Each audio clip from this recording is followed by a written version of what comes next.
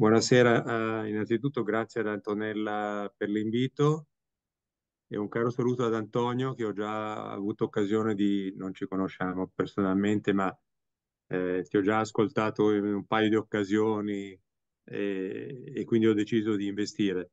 Molto brevemente, eh, io sono in IAG da 3-4 anni, ho fatto una trentina di investimenti sinora in IAG, più altri uh, fuori IAG, in particolare io faccio parte anche di un network tipo IAG di Business Angels a Parigi, PBA, Paris Business Angels.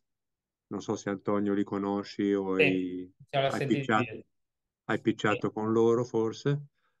Um, I motivi per cui molto brevemente ho deciso di, di dare il mio contributo ad Antonio da, da, da piccolo investitore. Eh, mi è piaciuto molto Antonio, devo dire, la squadra, eh, trovo mh, piuttosto rara l'esperienza che ha Antonio eh, e di, eh, non solo come numeri, come, come, aziende che ha già creato, ma per il successo che ha ottenuto. Quindi ha un track record che eh, per le start-up che io personalmente sono abituato a, a vedere nei pitch è, è eccezionale. Ho trovato geniale l'idea di combinare la AI con dei dati anonimizzati eh, per consentire una specie di democratizzazione forse eh, dell'uso dei dati. A me è piaciuto molto vedere una platea potenziale di concorrenti di Google eh, creata da zero eh, da Antonio e dal suo team.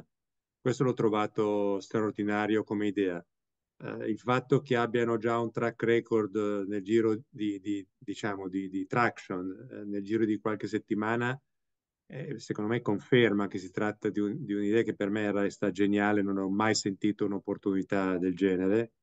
E infine mi piace molto quello che è eh, l'impronta geografica, il footprint dell'azienda, eh, che al contrario di tante che si limitano a piccoli mercati, in questo caso mi sembra partire soprattutto dagli Stati Uniti, eh, mercato particolarmente ampio eh, dove eh, i clienti di Fantix si scontreranno proprio con i Google eh, a casa loro, insomma, mi, mi sembra, eh, se, ho, se, ho capito. Sì, sì, sì assolutamente. Innanzitutto grazie Matteo per, per le parole anche molto gentili. No, è così, il focus è Stati Uniti iniziale perché c'è un mercato molto ampio, poi possiamo venire, una volta che siamo consolidati qua, abbiamo già idee di come aprire in Europa, stiamo esplorando una partnership nel, in Gran Bretagna tramite TrueLayer, che è una piattaforma di open banking che è diventata uno unicorn, creata da due fondatori italiani, Simoneschi e Luca Martinetti, e loro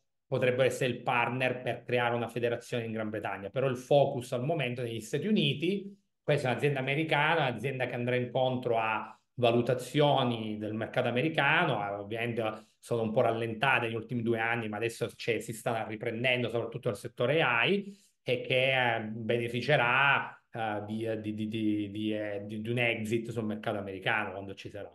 Quindi è molto molto interessante. Grazie mille però per, per il tuo punto di vista. Ecco, un'altra domanda che questa è un po' più provocatoria, ma poi dopo io so già che tu hai la risposta, nel senso che ehm, è del motivo per cui noi ti abbiamo proposto agli investitori italiani, perché ehm, se hai la società italiana, eh, scusa, americana, sì. eh, fai una parte di fundraising in Italia. Allora, il fundraising è stato fatto a livello internazionale, no? Quindi un progetto internazionale, secondo me è bene che abbia investitori internazionali perché poi al momento giusto, fra l'altro, uh, possono essere di supporto con esperienza, conoscenze e network nei vari paesi. Quindi noi abbiamo investitori americani, abbiamo investitori britannici, abbiamo investitori italiani.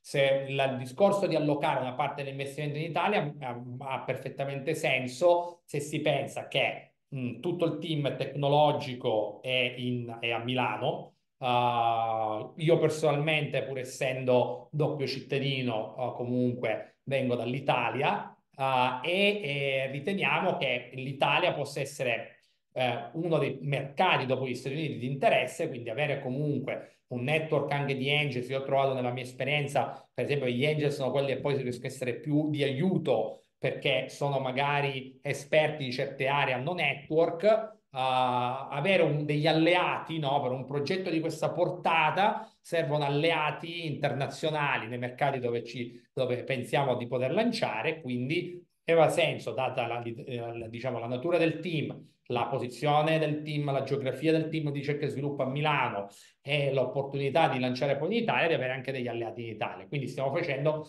una raccolta da questo punto di vista molto internazionale.